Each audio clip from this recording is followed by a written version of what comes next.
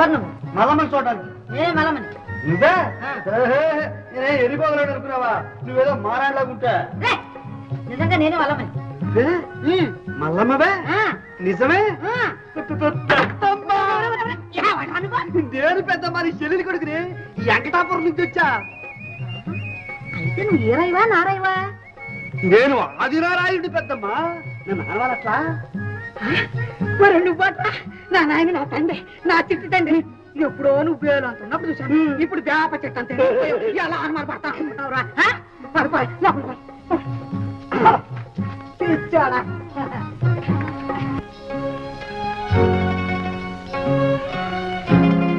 వచ్చావా మళ్ళీ? వీడెవడే? వాసాలు లెక్క పెడుతున్నాడు. మా చెల్లెలు కొడుకమ్మా. ఒట్టి పల్లెటూరాడు. రాజమండ్రిని చూస్తానంటే తీసుకొచ్చాను. నా పేరు ఆదిరారాయుడు అంటే? ఆ సర్లే రాణిగారి దండం. దండాలు అడిగారు దండాలు. ఒరే ఆదినారాయణ చూసావుగా చూసా చూసా పెద్దమ్మా బుల్లోడు అచ్చంగా అమ్మ పోలికి. మళ్ళీ వీళ్ళెలా తీసుకొచ్చావే? నడి చూచారా అడిగారు ఒట్టి పిచ్చాడమ్మా. కంటపడకుండా దొడ్డిదాన్ని తీసుకొచ్చాను.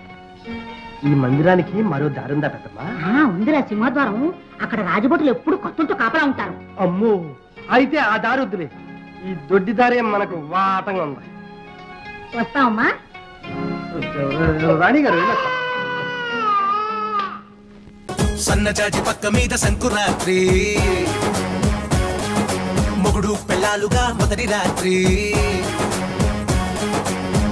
పెదవులు అడిగిన రుచి రాత్రి కౌగిలి అడిగిన కసి రాత్రి కవ్విస్తున్నది చలి రాత్రి కవ్విస్తున్నది చలి రాత్రి. సన్నజాజి పక్క మీద సంకురాత్రి.